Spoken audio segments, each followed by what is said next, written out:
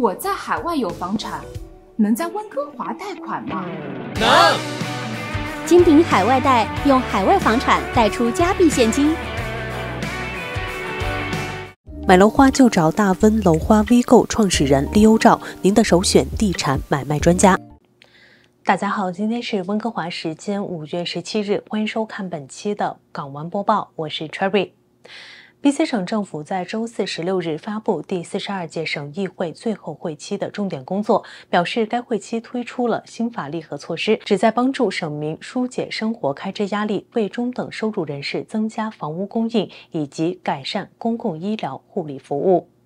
省议会在今个会期通过多项法案，包括打击房东恶意破迁的新法律，推出房屋炒卖税，以遏制投机行为；立法阻止破坏性的示威活动，以确保学生和教职员能够安全地进入学校；以及正式承认海达原住民在整个海达瓜伊的土地拥有权。此外，根据于二零二三年秋季通过具重大变革意义的法案，省议会在春季会期中进一步推出多项立法。旨在为中等收入人士提供更多的房屋。省长尹大卫在声明中说：“过去四年，每个 BC 省民都经历着许多困难。无论面对什么挑战，我们的团队都会努力解决困难，让大众能够建立美好的生活。当省民面对困境时，政府更加需要给予他们支援，并且采取积极的行动。”帮助改善生活，而不是视若无睹，任由投机者和富有的投资者剥夺省民的利益。议会领袖兼房屋厅长柯以伦说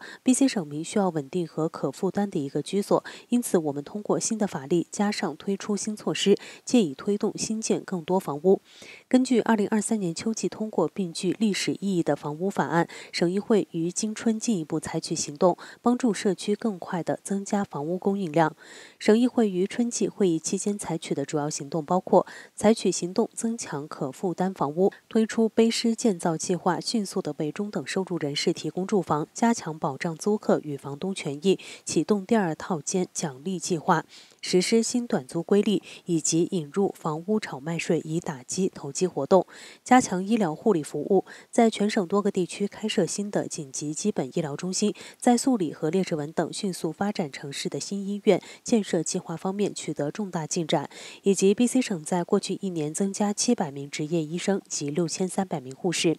疏解省民生活开支压力，BC 省保险公司给予本省司机一百一十元回扣，让他们在过去六年平均节省省两千元。增加和扩大 BC 省家庭福利计划，推出新的电力补助计划，今年省民平均可节省一百元的电费，以及从明年开始，政府为首个试管婴儿疗程提供全额补助，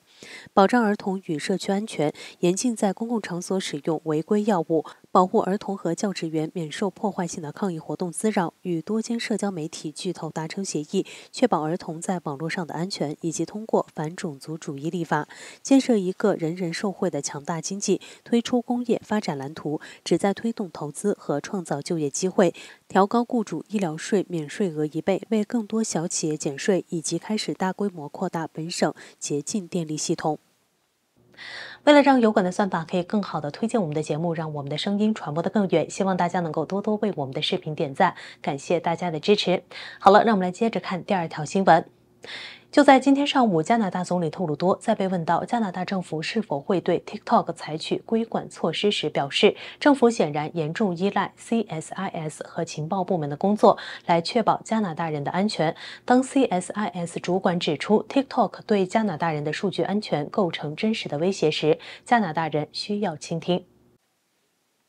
特鲁多说，政府已经采取的措施是禁止所有联邦电脑和手机设备安装 TikTok 应用程序。一些省政府和商家也在非常认真地考虑这一问题。他说：“我们需要与加拿大人讨论，做出精明的选择，确保自己和家人的网络安全。”他还表示，政府正在推进一项网络伤害法，关注保护儿童的上网安全。根据加拿大广播公司新闻周五报道，加拿大安全情报局负责人警告加拿大人不要使用短视频。应用程序 TikTok，称从其用户收集的数据可供中国政府使用。加拿大安全情报局 CSIS 主任 David 说：“作为 CSIS 局长，我的回答是中国政府有一个非常明确的战略，能够从世界各地的任何人那里获取个人信息。” TikTok 发言人在回应置评请求时说：“这些说法没有证据支持。事实上，TikTok 从未与中国政府分享加拿大用户数据。如果被要求，我们也不会这样做。”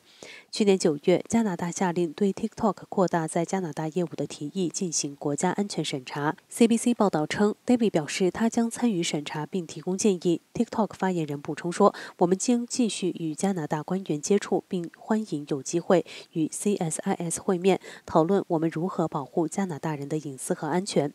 TikTok 及其中国母公司字节跳动本月在美国联邦法院提起诉讼，试图阻止拜登总统签署一项法律。该法律将迫使一七亿美国人使用的短视频应用剥离其母公司或被禁用。拜登于4月24日签署的这项法律规定，字节跳动必须在1月19日之前出售 TikTok，否则将面临禁令。白宫表示，出于国家安全的考虑，希望中国停止对 TikTok 的所有权，而不是禁止 TikTok。特鲁多说：“我们知道许多人，特别是年轻人，喜爱使用 TikTok。我们需要确保这是安全的。目前，我们将密切关注加拿大在采取任何极端措施之前，会先看 TikTok 如何回应。”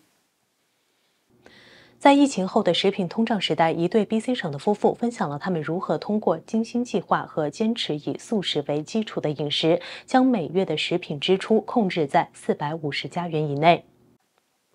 Carrie Wheeler 和他的伴侣 Jarman 住在南海湾群岛，他们大部分农产品都是从当地的农贸市场、农场和岛上的杂货店购买。每个月，他们会乘渡轮到温哥华岛购买 s a v o n Foods 和 Superstore 的主食，以及紫菜、裙带菜和米粉等特产。这对夫妇通常每月花费四百到四百五十元为自己购买食物，另外八十元为他们的德国牧羊犬购买食物，三十元为渡轮费。Carrie 说：“我们是素食主义者，所以我们的大部分蛋白质。”来源自然比动物性蛋白质便宜得多，豆子、扁豆、豌豆、豆腐、面筋等等都很便宜。他们很感谢有足够的储藏室空间来存放干货，因为购买打折商品是他们省钱策略的重要组成部分。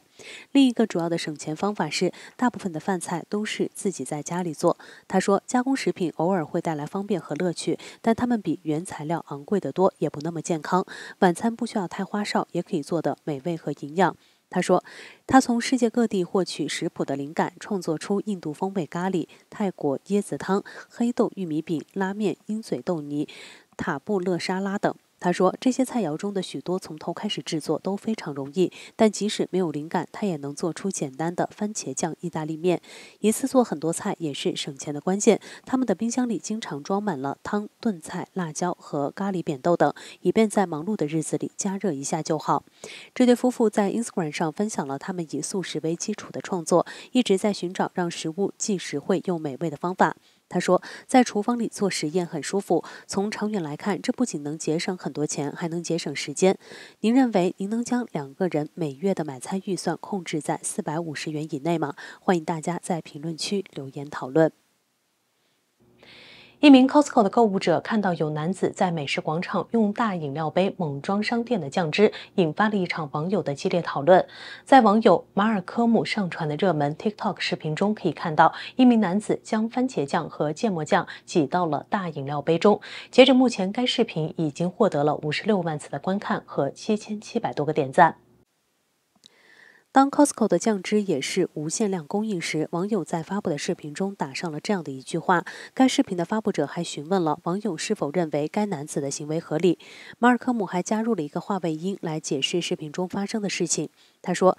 Costco 有一位先生，他所做的就是用大饮料杯装满酱汁。他甚至详细说明了所使用的酱料。他把番茄酱一直装到杯子的顶端边缘。他没有买芥末，而是把芥末一直装到顶部。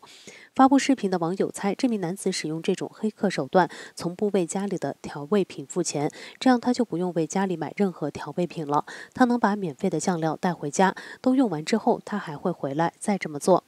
评论区的许多网友纷纷指责该男子的行为导致 Costco 限制了调味品的选择。有网友说，这就是他们把洋葱撤掉的原因。另一名网友插话道：“接下来说不定 Costco 会取消这种自取形式，只给我们发小包装的酱料。”然而，也有人认为这名男子的行为是合理的。他们指出，当前的经济困难，不，这不是偷。一位观众回应道：“这是自我保护。”他们总是对我们耍花招。另一位观众补充说：“我们为什么不能这样做呢？”还有网友澄清表示，这个人其实点了二十个热狗和二十个鸡肉卷，还有六个披萨，店员给了他杯子装调味品。如果你订购了大量的热狗，商店会为你提供杯子装调料的。